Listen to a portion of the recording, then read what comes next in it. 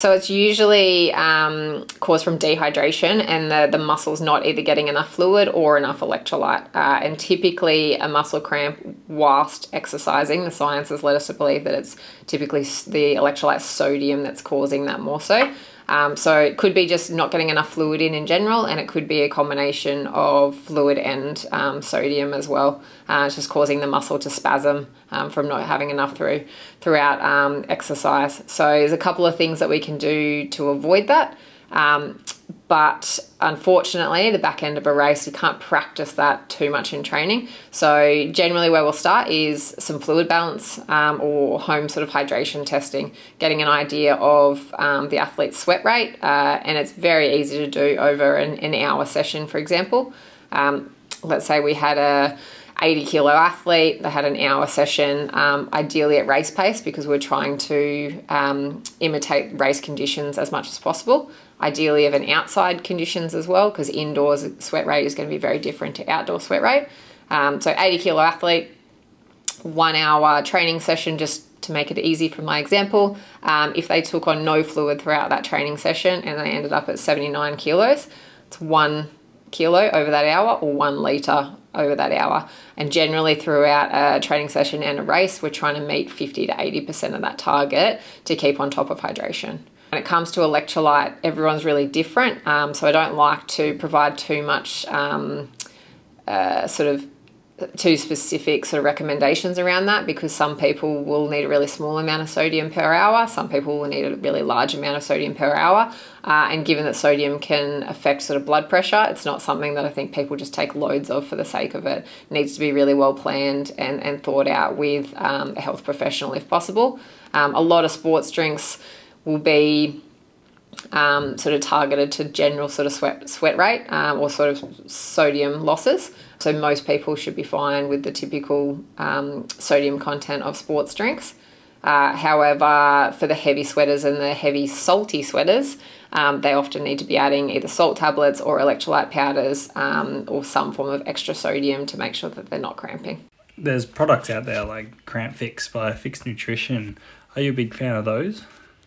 The goal is to um, avoid cramping in the first place. So I love those products um, for a bit of a cure. Ideally, we're trying to prevent, and that's through um, a really thought out and well planned, well practiced hydration plan, which is going to come in a part of a solid race nutrition plan. Um, but if you are going to cramp, then something like Cramp Fix works wonders. Um, and, and it's usually sort of fixes the cramp relatively quickly. Uh, the problem is if you've already cramped, we've already had an impact on that race time. Um, so ideally, we're trying to avoid that happening in the first place. So, how does the cramp shot fix actually work?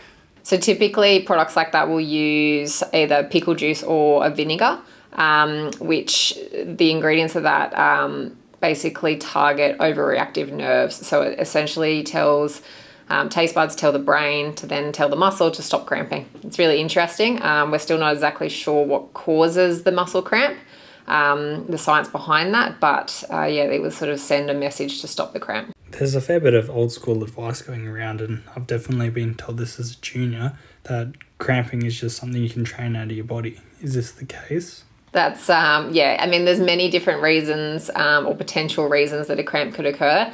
Um, dehydration is one, um, potentially being untrained, um, but there's just you know there's no clear cut reason for it. Um, but it doesn't necessarily mean that you're unfit. No.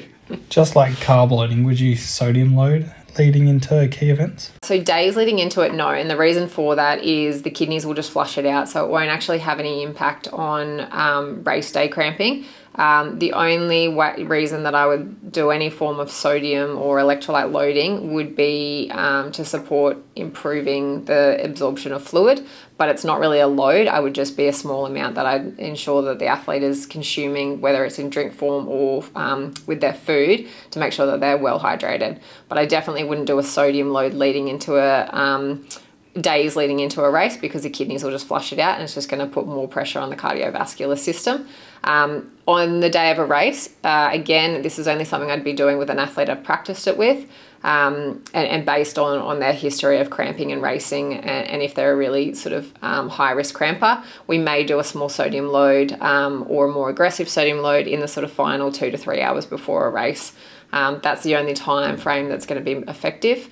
Um, we don't want to be doing it days leading into racing. Usually, cramping is surrounded by like hotter conditions. You're not used to the heat. So, would you use products like Prepd to superhydrate?